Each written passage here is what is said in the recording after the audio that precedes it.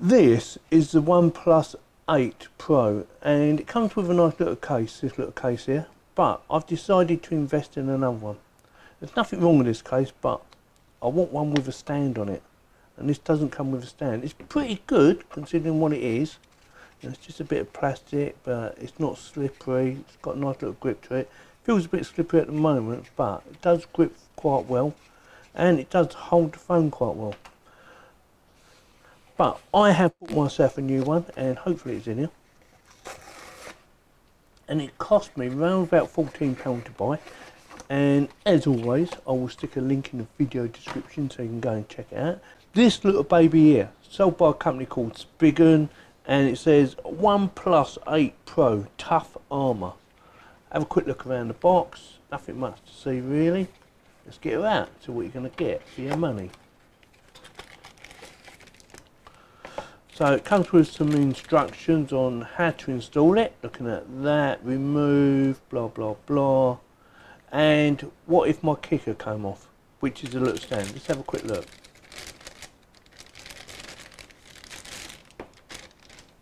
So this little thing on the back here, looks quite nice actually, doesn't it? Gunmetal. So that comes out like so, and basically your phone will sit like that. It's not adjustable, it's either in or out, that is it.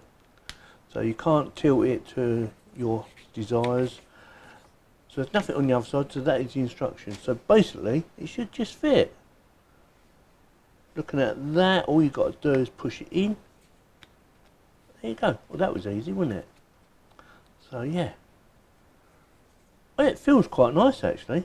So just try this out. Yeah, see, that's what I wanted. So that I don't have to have it like that or I don't have to keep holding it. I can just either have it like that or have it on the stand sitting there like that. Perfect.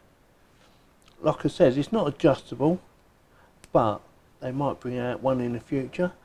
So uh, what do I think? Yeah, I like it. I'm going to give it a few days to try it out and see how I get on.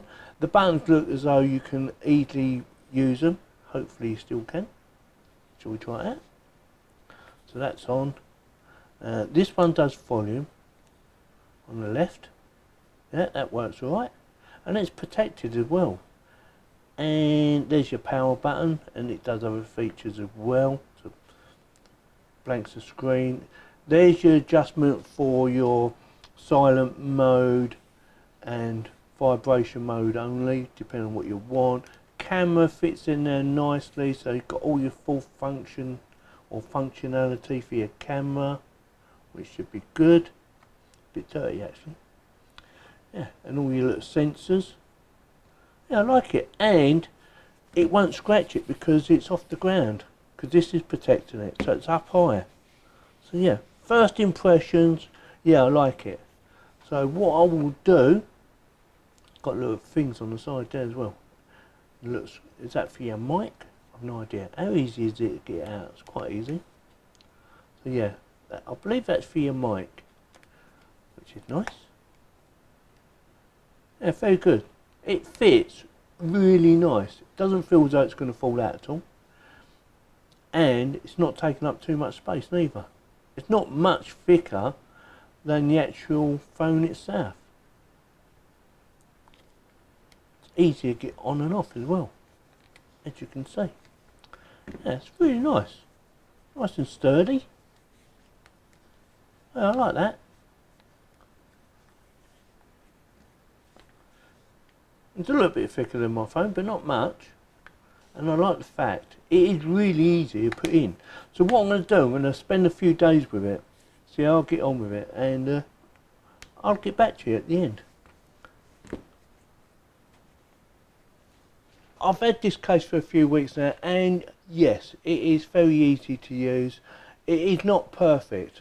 I'm going to tell you some of the features I like and I'm going to also tell you some of the features I don't like. So for instance, these little rubber buttons here for the plus and minus, I like them, they work fine for me, I have no issues with that. Same on the other side, the on off button and the mute button, I like the way they've done the cut out. Actually I like the design and the fact it's easy to put in and out. So if I want to take my phone out of the case, which I do sometimes if I put my VR headset on, then I need it out of the case and it's quite easy to do.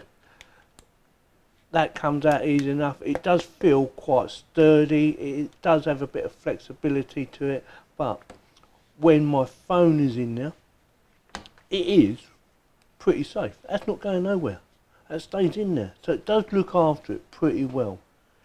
The only downside, and is, is only this, is this. This baby here, the little, the little rest for the tilt. It doesn't sit quite at the right angle for me. I prefer it to sit further back. I would prefer if it sat like that, so it'd be right angle when I'm sitting down and I'm watching YouTube or something else it would be at the right angle. So that is the only downside. That is not adjustable. It would have been nice if that was adjustable.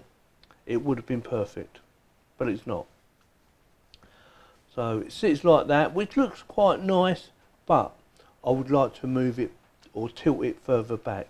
So that is my only criticism. For the amount of money I paid, it wasn't a lot of money anyway, so it's not too much. But if they make any further improvements, hopefully they'll improve that so that I can tilt it back further. Apart from that, it's fine. It does what it's supposed to do and I'm happy with it until I find something a bit better. So uh, with that, if you like this video, give me a thumbs up. If you didn't like it, give me a thumbs down and uh, please subscribe. Thank you very much for watching.